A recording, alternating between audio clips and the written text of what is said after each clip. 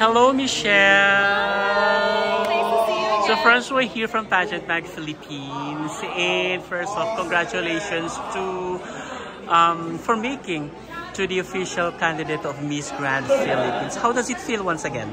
Oh my gosh, it feels so surreal that I'm finally here right now.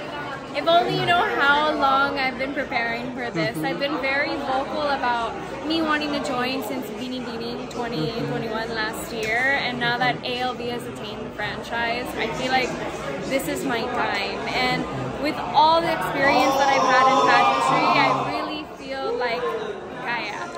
Wow. So, is there any pressure, or do you feel any pressure that um, on your journey right now because the previous um, pageant you've joined actually which is the international pageant you won uh, at least you placed first runner up so is there any is there any feeling of pressure to you right now Syempre naman there's always feelings of pressure because sometimes like there's high expectations for things and of course it's Miss Grand so mm-hmm. the expectations are through the roof. But I know I have to work really hard for this mm-hmm. and really show everyone that I have the determination, I have the work ethic to really mm-hmm. persevere through this entire journey. But it's really it's a human experience to mm-hmm. feel these kinds of things like the jitters and the anxiety. So at least that will be it ignites a fire in, within me. In what particular of the journey or preparation that you are actually most challenged about? Pasarela. Oh. I mean, I I wouldn't say it's my weakness, mm -hmm. but I wouldn't. It's it's like a dance. Some people can dance better than others. Some people can sing better than others. But I really, oh my God, Shakira, these hips do lie. So I've really had to work on it mm -hmm. and I've just had to put more time and effort with this, but I know everything will pay off in the end because I'm I have something in store for you guys. Mm -hmm, mm -hmm. So, um, if you're going to rate your chances of winning this uh, pageant, oh how would you rate yourself being 10 the highest?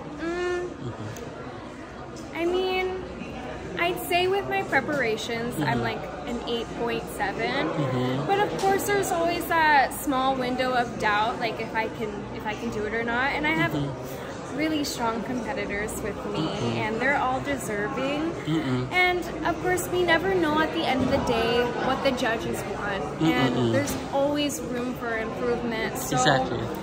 if ever they don't find me fit for the mm-hmm. crown I know I can always try again but mm-hmm.